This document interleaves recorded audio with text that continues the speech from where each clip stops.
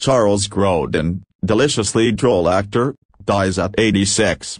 Actor Charles Grodin, who charmed audiences with his droll, understated and awkward humor in such films as The Heartbreak Kid, Midnight Run and the Beethoven movies, has died. He was 86.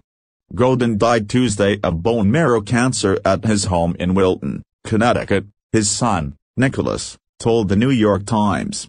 Grodin invigorated Neil Simon's Seems Like Old Times, 1980, when he portrayed an ambitious DA whose wife, Goldie Hawn, and life are distracted and disrupted when her ex-husband, Chevy Chase, plops into their straight-laced marriage.